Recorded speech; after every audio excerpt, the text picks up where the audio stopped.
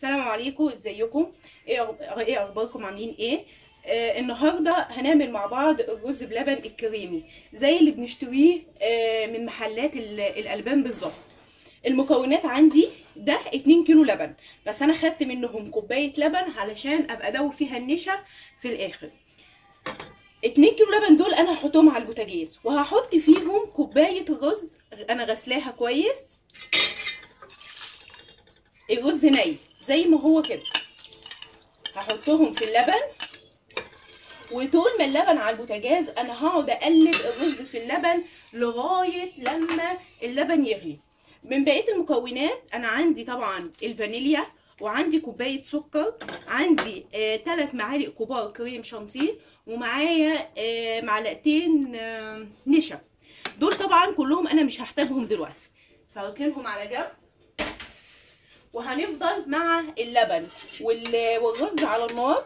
كل اللي هعمله إني هقعد أقلب كويس اللبن والرز على النار علشان ال- اللبن ما يشيطش والرز ما يلزقش في قعر الحلة.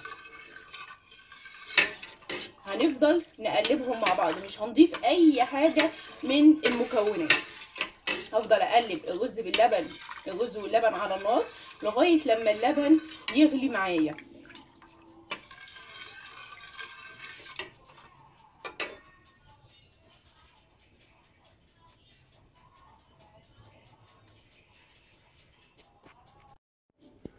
أنا لسه بقلب الرز أهو على النار واللبن قرب يغلي أهم حاجة في الرز بلبن إن أنا أجيب لبن من مكان كويس يكون لبن دسم علشان يديني نتيجة كويسة.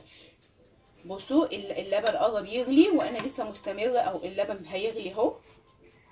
وأنا مستمرة في التقليب علشان الرز ما يلزقش واللبن ما يشطش مني. لازم أفضل أقلب.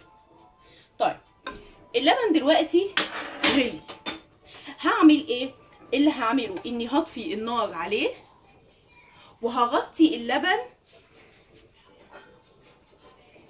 وهسيب فيه الرز وهركنه على جنب لمدة نص ساعة. وبعد نص ساعة هرجع اوريكم هنعمل إيه. أدي الرز بعد ما سيبناه وهو في في اللبن بعد ما غلي. بصوا الرز استوى تمام. وما استواش في في مية طبعا استوى في اللبن. أنا رجعت ولعت عليه البوتاجاز تاني علشان يغلي.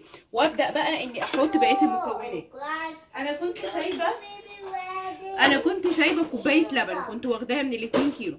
فهحط نصها على معلقتين النشا الكبار وهقلبها. وهركنها جنبي كده علشان إيه؟ أبقى أنزل بيها لما أحط السكر. يبقى ادي النشا حطيتها في نص كوباية اللبن وادي كوباية السكر. هي كوباية واحدة على المقدار ويطلع مظبوط وتمام. هحط السكر.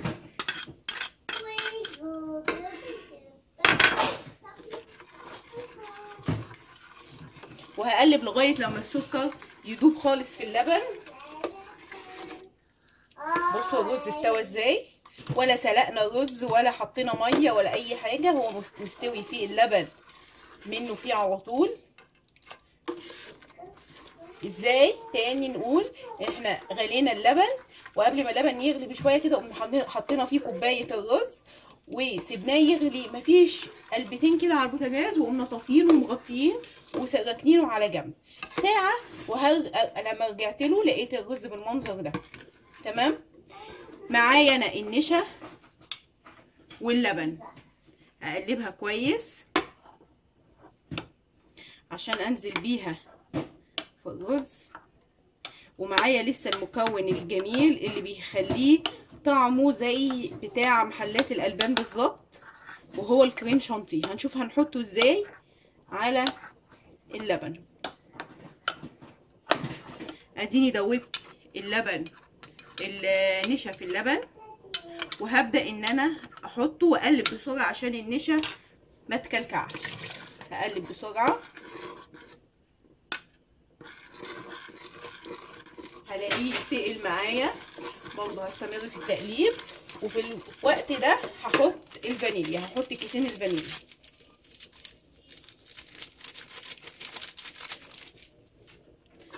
وهقلب برضو عشان النشا تستوي. عندي بقى الكريم شانتيه. هنحطه إزاي؟ ادي معلقتين أو ثلاثة كريم شانتيه. هنحط عليهم بقية اللبن بقية كوباية اللبن وهنقلبهم كويس.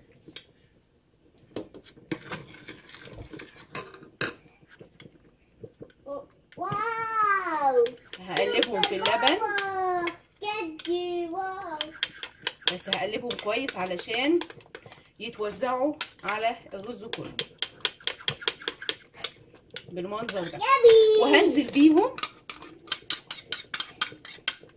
وهقلب على الرز. طعمه بقى ما يتوصفش. جربوه مش هتندموا أنا هطفي النار. وهي العين هتفضل سخنة شوية. هقلب علشان النشا تستوي وما أحسش بطعم نشا في الرز خالص وأنا باكل. بصوا بصوا قوامه عامل إزاي بصوا كريم إزاي وجميل جدا. هجيب بقى أنا عندي كاسات أجيب اطباق هجيب كوبايات اللي أنا عايزة أقدمه فيه وأقدمه.